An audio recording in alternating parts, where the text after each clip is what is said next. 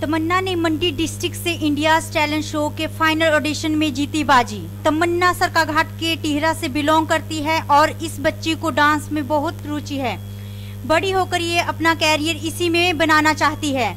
Lockdown में बच्ची अपनी कला को तराशने में लगी हुई है। हर दिन ऑनलाइन डांस क्लासेस लेकर न्यू सॉन्ग पे डांस सीख रही है।